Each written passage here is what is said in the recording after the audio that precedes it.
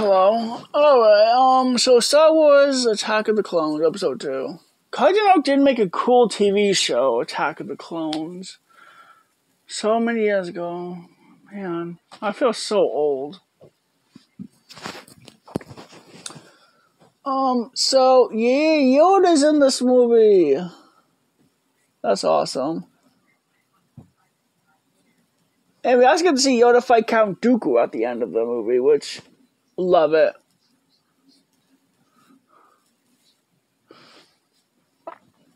Um, what else happens in this movie? So again, this is a three hour long movie. A lot happens in the movie.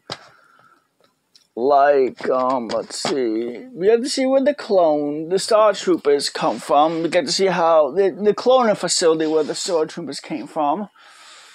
Um, what else do we get to see? Basically, Anakin is now a teenager. Obi Wan is training him. This is also the only way we get to see like the love between um Anakin and Princess Padme.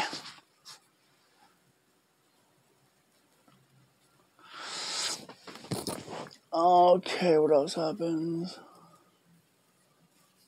Um, they get captured. And then a bunch of Jedi's come in to save the day.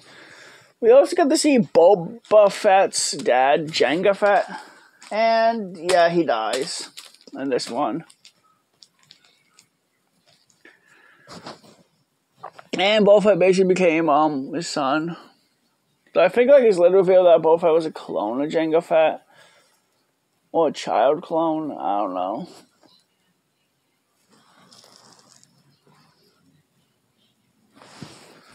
Alrighty, um I believe General Grievous was in this movie. Was he in this one was he in the next one? I'm trying to remember. Yeah, a lot of characters were introduced in this movie. Uh, okay, like Dooku.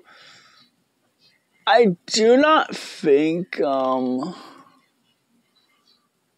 I don't think, um, what's his face? Jar Jar Binks is in this movie.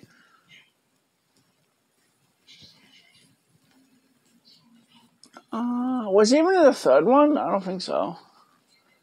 Oh yeah, right. So apparently Jar Jar Binks was supposed to be a Sith Lord. It's gonna be revealed that he was gonna be a Sith Lord and um a Sith in um this movie. But then they decided that would be weird and dumb, so they went with Dooku to be um the Sith instead. Dooku does get killed off in the third one opening scene.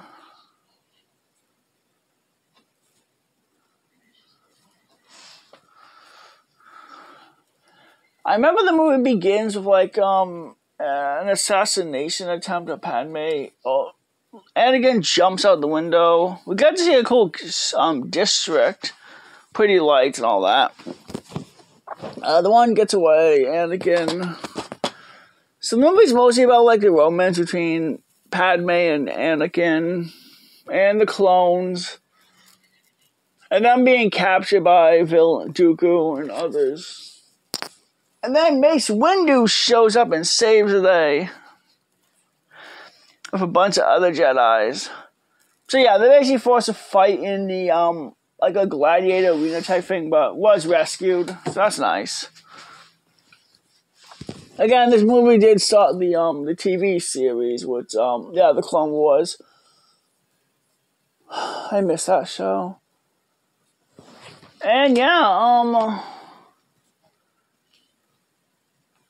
Anakin also gets um an apprentice. Um, oh yeah, right. Ahsoka's not in this movie at all. She was she's a new character introduced in the Clone Wars TV show, TV series on Cartoon Network. Alrighty, what else? It's a great movie. It's fun. Hmm. I'm sure it's the third one where he fights General Grievous. But I think Grievous was introduced in this movie, but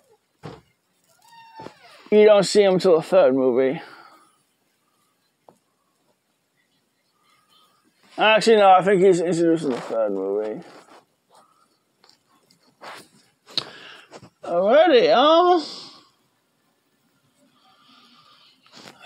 Hmm. Again, probably the se- mm, second best. Uh, Revenge of the Sith is one there because that's going down the dark side. Gets revenge on his mom. Um, slaughtered children.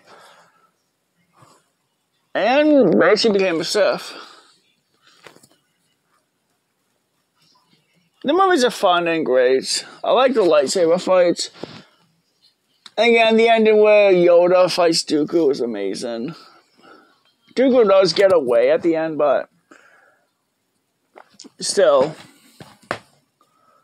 Um.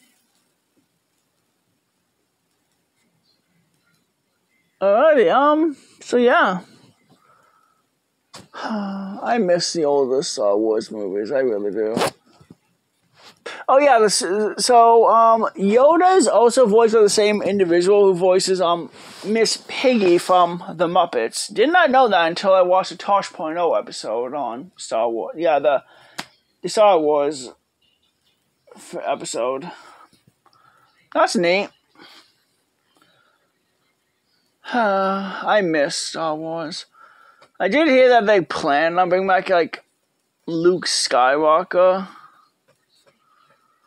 an attempt to make money because Disney is losing a lot of money with the whole um a lot of stuff they're making. The Acolyte and many other shows too. Although I don't know what's the point of bringing Luke in because his character was already fully character assassinated beyond repair. But uh, maybe they'll do something good. Of course, it'll be a prequel, but yeah. Hope everyone has a safe day.